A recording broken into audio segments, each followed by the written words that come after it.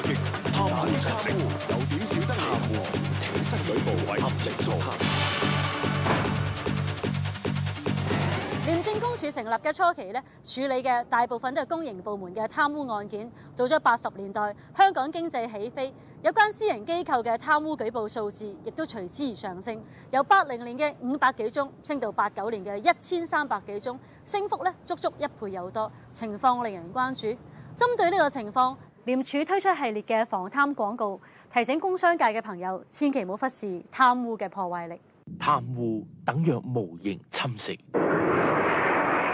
喺不知不覺間殘害公司，後果慘重。有貪污必有禍害。你公司有職員買貨嘅時候要向人收取回佣，對方梗唔會咁笨自己貼錢㗎啦，唔想貼錢咯，咪要將貨價提高咯，咁就累到你公司長期要買貴貨，買下買下，公司又賺變蝕，唔係蠶食公司係乜嘢？公司發展得好，當然值得自豪。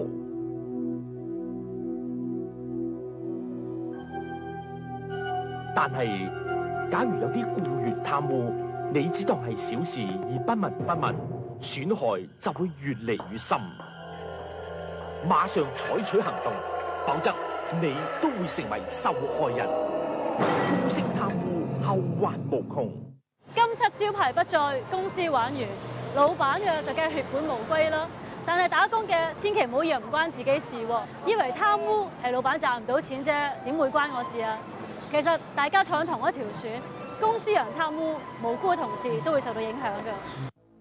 我哋间公司旧年赚二千五百幾萬，唉，今年就差好多。人工都冇得加，唔知系咪有人为咗揾着数，连次货都收啊？系咪公司出现咗问题，俾人有机会假公济私呢？啲制度立立乱，都冇人管嘅。贪污令公司损失严重，采取措施防止贪污，请即致电廉署防貪諮詢熱線。我一个做会计师嘅朋友同我講，佢話商譽喺會計學上嚟講咧，如果算作公司嘅資產一部分，佢仲話有商譽咧就有商機，聽落都幾有道理喎。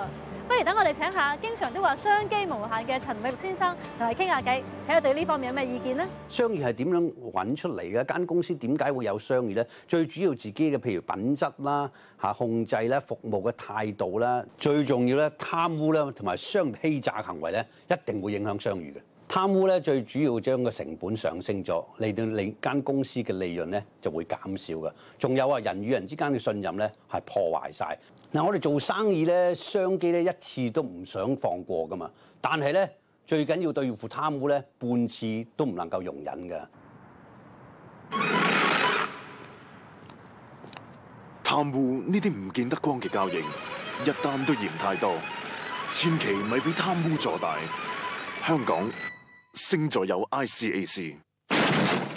睇完以上嘅片段，就明白到维持商业竞争力同埋保持香港作为一个重要商业城市嘅地位，系需要大家同心协力打击贪污，以保住香港公平竞争同埋反贪典范之道嘅金漆招牌。